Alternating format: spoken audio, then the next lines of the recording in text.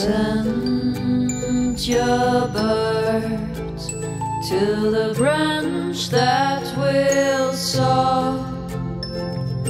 Then we can release and free fall.